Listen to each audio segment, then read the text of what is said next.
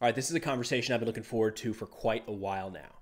Lindsey Alexander specializes in Russian disinformation, which is a topic that I've been fascinated with really since the Russian full scale invasion of Ukraine kicked off a little more than a year ago. It's just been so interesting to see how closely connected the disinformation piece is to the way that Russia wages war. And whether you like it or not, because of social media, it's something that's reaching people all around the world every single day. So we talk about the history of Russian disinformation, how to counter that threat, and a little teaser, it's not through censorship, and the challenges in fighting the information fight in this current conflict. You can find Lindsey all across social media at the links below in the video description. Hope you enjoy. All right, Lindsey Alexander, thanks so much for taking the time to chat a little bit today. Yeah, thank you for inviting me. I appreciate it. So we're going to get into a realm of I'm tying it to the war in Ukraine, and I'll kind of tell you how I, I got to that point. But would you mind giving just a little bit of your background, where you're coming from, what you've worked on, um, largely tied to misinformation and disinformation, which is I think we're going to spend a lot of time talking about. Sure. Um, so right now I've been in the private sector for a few years. I'm working with companies on um, a wide range of things from open source intelligence to combating um, and mitigating disinformation and misinformation and other harmful narratives. Uh, prior to that, I spent well over a decade at the CIA in the Director of Operations as a targeting officer. I specialize in um, Russia and the near abroad, so like Central Asia, Eastern Europe, uh, Ukraine, those areas essentially, and um, focus more on like counterintelligence and um, combating deception operations. Um, specifically, like disinformation falls under that. And um, throughout my time in the government, I've developed an expertise in this area and find it incredibly fascinating. And now that it's, um, you know, the hot topic of the day, it's great that people want to talk about it. Something that, you know, 10, 15 years ago, people would look at me with like a sideways glance, like, what's disinformation? Um, that's not important. And now everyone knows what that term is for the most part. So it is very interesting, or they're using it. Um, so yeah, so I did that. I did spend a few years at the FBI as well, and earlier on in my career, um, right before the agency. But yeah, happy to answer any questions. Awesome. So I, I'm in that camp of people that had heard the term, mostly I maybe 2016 election, 2020. Like it was, it was used a lot um, in the domestic conversation around those times. But as we were talking beforehand, my background is kind of in terrorism studies. And when we think of, or when I think of terrorism, the term is propaganda. Um, mm-hmm. So for terrorism, for Islamic State, for Al Qaeda, it's it's propaganda. When I think about near peer threats, I think of the term that comes to mind for me is Chinese censorship, but it's Russian disinformation and misinformation. What? Why? Like, why has that term been so heavily associated with Russia more than some of these other countries or groups? Yeah, um, that's actually a really good question. Yeah, right. Um, no, it's a good question because um, not many people are talking about that, and it, it I find it very interesting. So, um, because there is um, disinformation is different than like propaganda and different than hoaxes and other things that it's being um, applied to in the current day and age, unfortunately. Um, but we do see it heavily uh, tied to Russia because um, Russia essentially coined the term, at least that we know, what we know now is disinformation. Um, they really coined that in the late 1800s, and um, prior to that, they they've been working on this, um, doing disinformation under so many different names for um, far longer than our country has been a country. And this is kind of, and other countries have done this as well. Russia is not the only country to have done this. We just um, borrowed one of their terms that they use for this type of practice, essentially. Um, and they are known as uh, being, I hate to give them credit in this area, but they are known as being um, very prolific in their disinformation and um, very active in um, conducting those types of campaigns more so than other countries. And they have the playbook, like the Chinese are currently using their playbook as well. um, the Russian playbook for disinformation, and it everyone recognizes Russia as being kind of superior when it comes to disinformation. Unfortunately, not saying other countries aren't getting there or will be there, but um, Russia is unfortunately good at it. I remember hearing something at one point that part of the reason that Russia's more advanced, maybe in the, in this capacity than some other nations, is that, and I don't know if this is true, so correct me if I'm wrong, mm-hmm. but it was tied to the Cold War and how coming out of the Cold War, the United States was viewed as as the winner of that whole you know decades long conflict.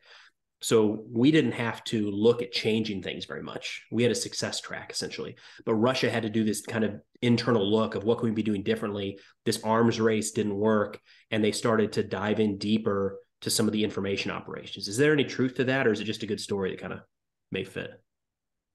I mean, I you could make the argument there is some truth to that. I know um like during the Bolshevik Revolution um in the early 1900s they really um and as like the Czechos I won't go into Russian history but as those parts of the you know the Russian government were forming they were really they were arguably just as active in disinformation and other types of deception okay. operations um and they were heavily active as were like the United States and other countries throughout the Cold War um, as well. However, yeah, like the United States did spend most of its time trying to um, combat it, and we didn't really want to admit a lot of that was going on either.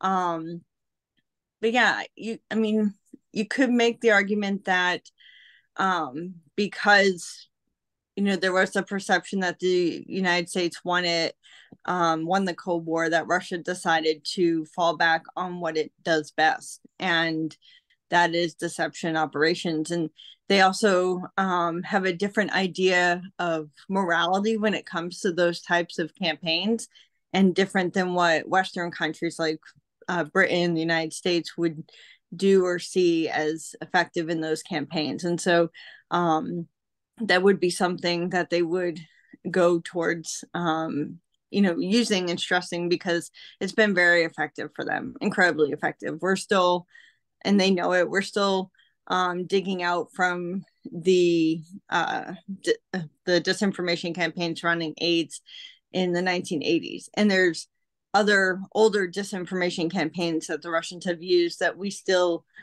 aren't fully have a consensus on either and it's been decades. So they it's effective for them so why not use it? I hope that answers your question. Sorry that no, it does. It's it, it, also so coming from the military background it, it's like an area that as an artilleryman like i wasn't spending we didn't learn a lot about.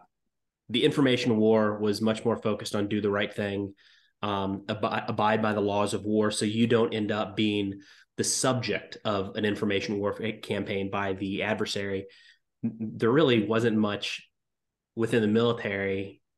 And I, am sure this has changed, and not to speak for the military now, but in my training, we didn't spend very much time going over like how to counter Russian disinformation.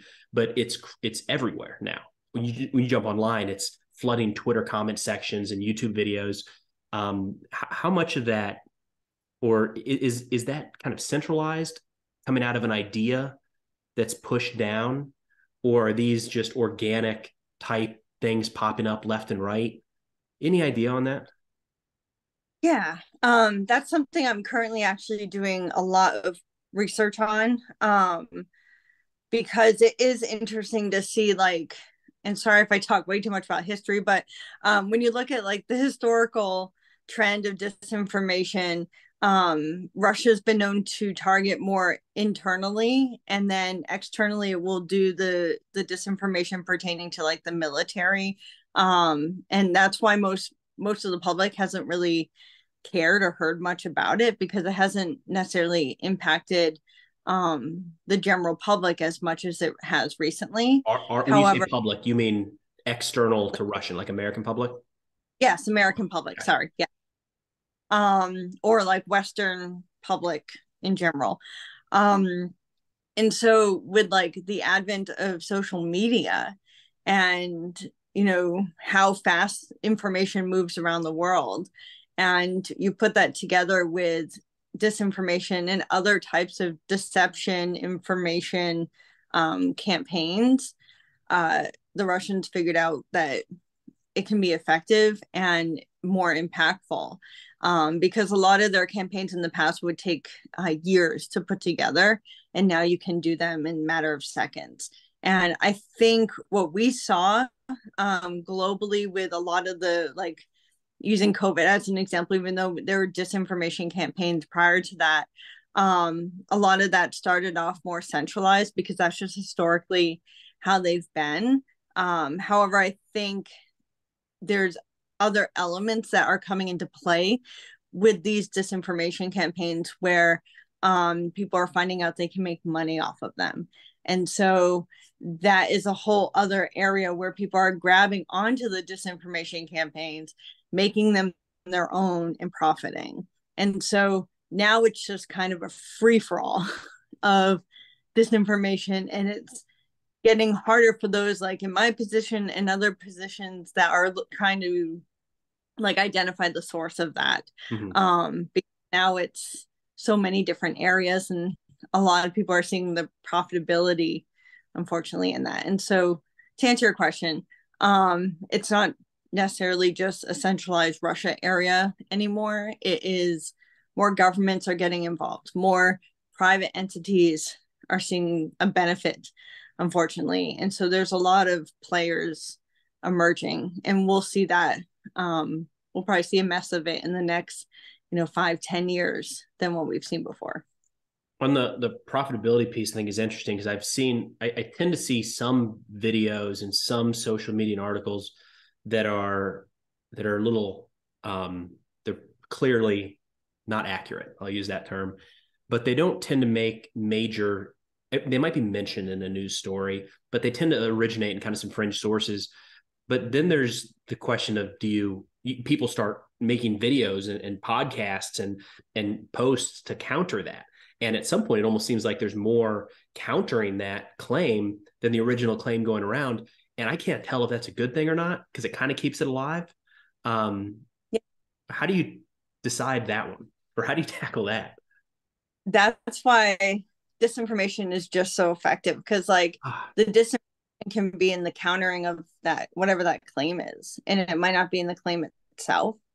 Um the russian like going back on the russians they're known to do both like not just put out one narrative but have it be the narrative and then the for and the against all being part of that disinformation. So none of it's real but it looks real essentially. Um and people are fighting about it on all sides And it's just anything. yeah yeah. Um and so yeah like um sorry what would am i answering your question?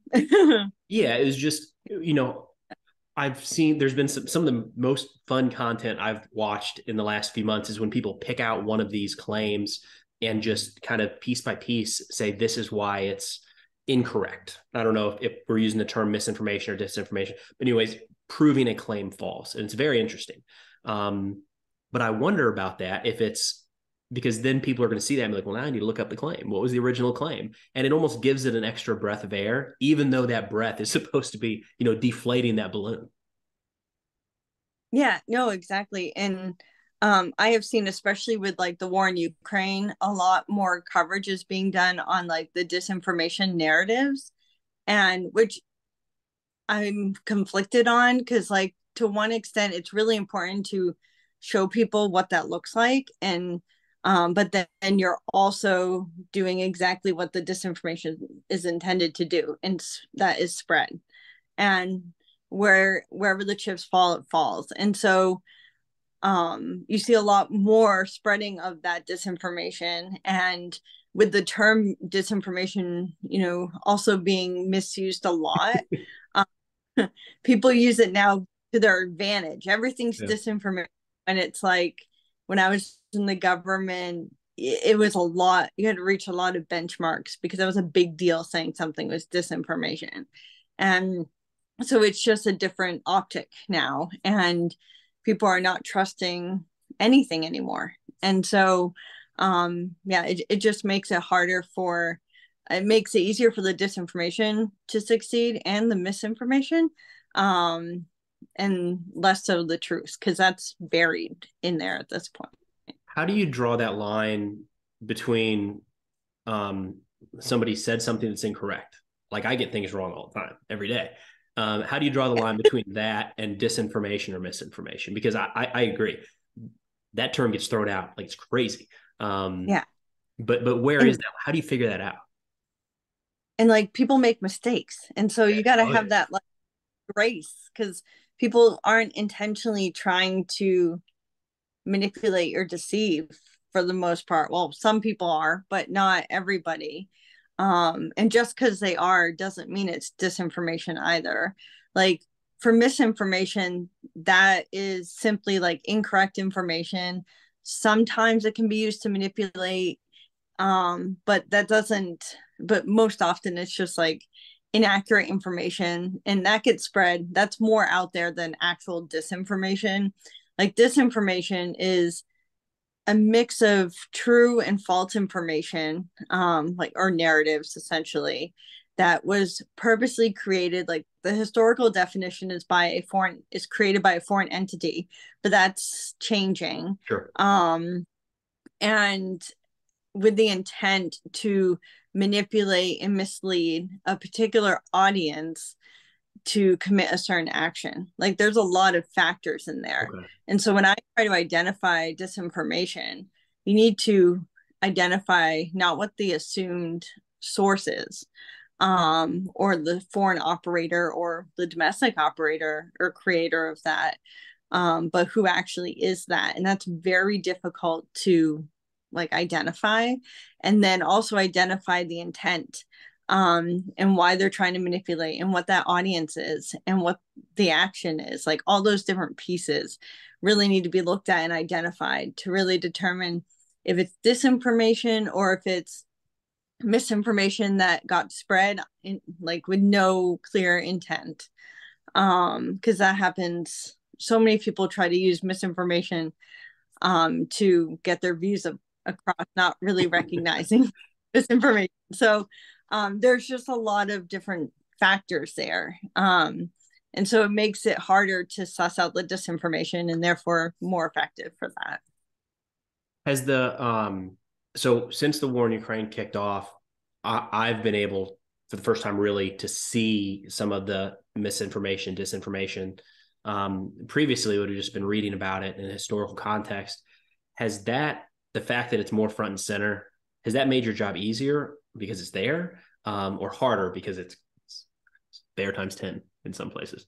I mean both because like it's interesting to see like how the russians are very coordinated in their um like their entire campaign for not just disinformation but other types of deception that they're using in the Ukraine um conflict. Uh like you're seeing a lot of um their I guess their narratives will come out of foreign government um sorry not foreign government um like Russian government officials abroad. And then you see it trickle down from the Kremlin. Like there's a different way that we're seeing their information come out but it's all very coherent um and very um organized.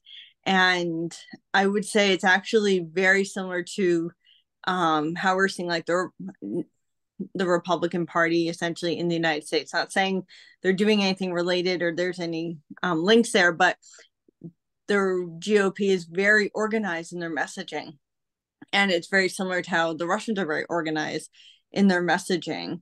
Um, and some things that's sometimes that's good, sometimes not so much. Um, but with the conflict in Ukraine, that organization, they've always had that there. Um, but it is getting the difficult part is getting people um, to really recognize like the harmfulness in the narratives. And because the russians are doing a, a sort of good job at um, creating more division when they need to and creating conflict um, and doubt in mm-hmm. the information. We're seeing that with the nord stream pipeline explosion. We've seen like a handful of narratives come out regarding who did that. And you know somebody's doing something there. Um, and just other incidents surrounding you know that conflict as well. It's just creating more doubt and people aren't, aren't sure what to believe. And that's exactly like what disinformation is supposed to do.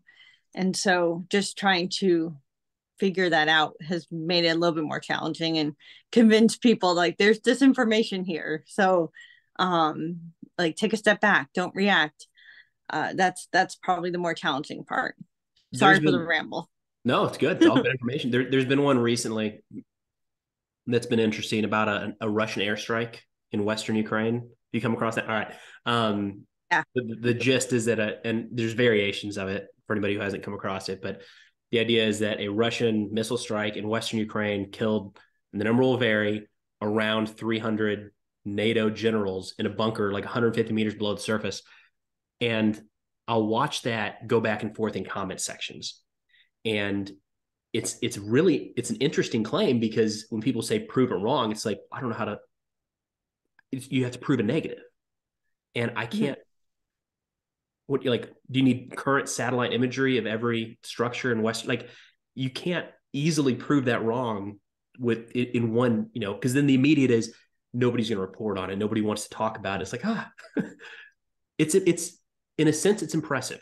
Some of the storylines and the ways these are put together. So they're hard to disprove, even when they're, you know, for the, for most of them, very clearly inaccurate. Mm-hmm. I agree. And it's interesting, like, there's so many I don't know what else to call them, but like talking heads now with like mm. social media that it just makes it easier um, and harder for for disinformation in general, especially like when you have a conflict like what's going on in Ukraine, because everyone's talking about it. And so it's hard to trace the narrative and track it and to yeah. figure out what's like every there's people with a wide range of experience. And so when people talking about military things that aren't military and um like intel things that weren't intel and all these different things. So they're trying to be because they found google maps or something like that. Yeah. and so just trying to like yeah it's crazy it makes it harder if you're trying to suss it out. Um but if i were like a like on the other side of it like the one that created that narrative um like man you you don't have to do anything. It's out there. And like you just let you know everything go and it could be successful. So it, it makes your job easier if you're on the creator side of that so, so what do we do? Because i agree. What putting out you can you, you you and i can sit here all day and come out with semi-false narratives about whatever we want. That there's a little bit of truth and then it just instead mm-hmm. of following the straight path veers off a little bit at the end and we could come up with hundreds of those in the next hour and just you know shovel them out left and right. But the combating that takes so much more time and effort. How on earth is this? How do we handle this? It, it feels like an insurmountable problem. Yes because it's in we're getting like a deluge of information. And so it's overwhelming. And i have personally gone through like every different option for like combating this um, that I can think of at least. And the ones that seem more sensible to me um, have are the ones where you focus on not necessarily discussing the what could be the disinformation, but educating like the general public on how to suss that out better. Um, if that makes sense. Because when you yeah. when you look at countries um in like Europe, like Sweden, Switzerland, Denmark, Finland, those countries that get hit in Eastern Europe with um like they have a strong history of Russian disinformation and getting hit with it constantly. The, it's very ineffective there. Like that type of disinformation, and Russia now knows that.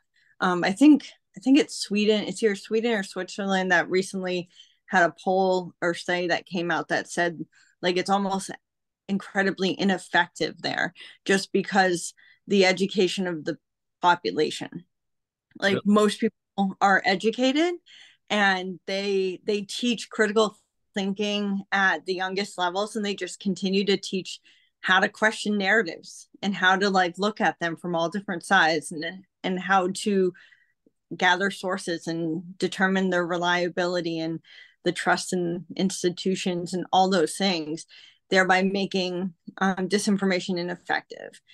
And when you look at what narratives fall like what narratives do well or what narratives fail um, you tend to see the ones that stick more in audiences that aren't all in the same education level essentially when it comes to um, like critical thinking and those types of things and so the more you educate a population in that area and media literacy and everything that falls under the umbrella the less effective disinformation will be. And so to get back to your question i think it's like whack-a-mole similar to terrorism. Mm-hmm. you you get terrorists down they another one pops back up. Um with disinformation you can spend your whole life your whole career going after each separate narrative and never catch up and sure. like i'm at the point where if you just focus on building those programs and educating the people and give the people back that that that power that's going to be more effective um, but unfortunately there are others the other side of that coin um, the other way you could and countries have taken this um, route to disrupt disinformation is the censorship and i'm not for that but you can then censor information and um, filter you know the disinformation out but that's not healthy well, to your point earlier, we're, we're confusing yeah. misinformation and disinformation with I got a number wrong on a tank specification. You don't want that censored, right? Um, right. are we the easy targets now? Are we compared to some of these Eastern European countries? Are we easier targets for Russia in those campaigns? I think so because like we we're the youngest. Like when it comes to Western countries, um, like we are one of the youngest countries having to deal with disinformation. Like disinformation has been known to everyone in Eastern Europe for decades, centuries. Um, and they're probably laughing at us, looking at us like, what in the world? Um, because it is new to us. We're just now, and you know, Sorry, 2020, we're trying. Yeah. like just figuring it out kind of thing. And it's the new sexy term that everyone wants to talk about. And so um I think we have a lot of growing pains when it comes to that. Um, and I don't think it's going to be completely insurmountable for us um, because I think even though we are young when it comes to that type of exposure, um, I have a lot of faith in like the generations coming behind me. I'm like an elder millennial, so like the younger kids out there um, are doing so like they're really doing well when it comes to like critical thinking and questioning things and i think that's going to serve them well as they they grow up and get in government positions and all of that and that will help um, bridge that gap. We've started moving along a positive route here after like a lot of negative in this conversation. Okay. so let, let, let's wrap it up on a positive note here. Can you talk a little bit more about that media literacy and that training like what that I, I understand at a high level but what does that actually look like in practice? Yeah um so i think it it has to draw on a a wide range of um areas for lack of a better term. Um i know historically media literacy courses and critical thinking courses have been like created by governments. Um i think in our case it would do us better to have you know different representation from various sectors of society um, like the medical sector the economic political all those areas to help actually build and craft um, some sort of education that will um, teach everyone at each different age um, how to question things you know not in like a conspiratorial route but how to take things apart and discern what information you can trust, what information you can't trust. Um, simple things like what a fact is, what an opinion is, like why are they different?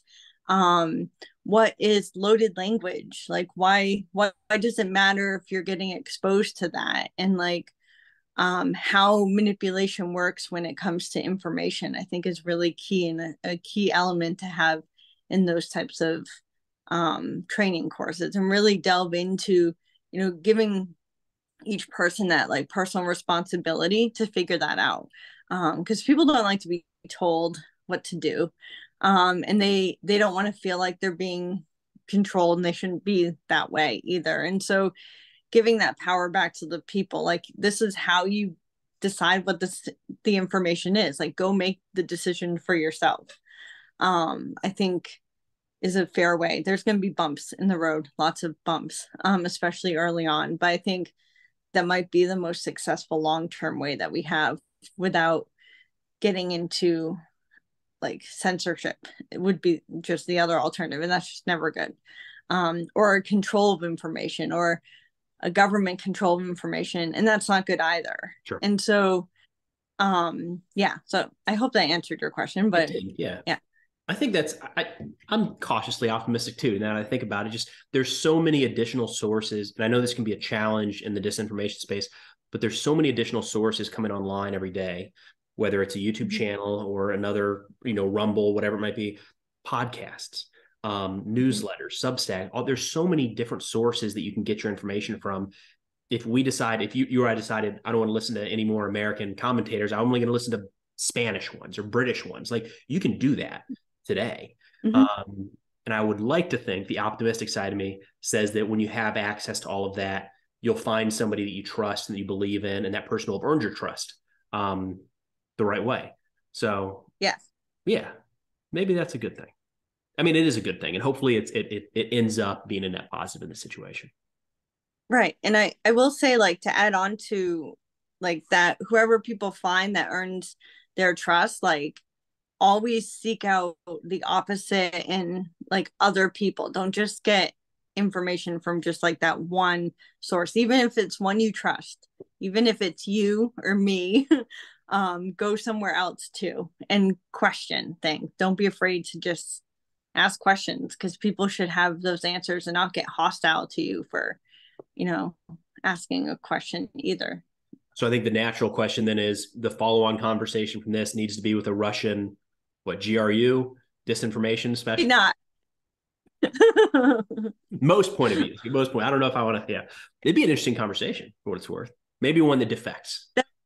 Um we'll see that, that would yeah Lindsey, thank you so much for taking the time. If people want to look you up, reach out, contact you, what's the best way to find you? Yeah, I am Disinfo Gal on most social media channels. Um, I'm starting YouTube soon, but I am on there. Um, TikTok, Twitter, although that's dying. Um, Instagram. Um, you, you can reach out on any of those platforms. Awesome. We'll put the links to all of those in the description below. But Lindsey, thanks again. And uh, yeah, hope to stay in touch. Yeah, thank you.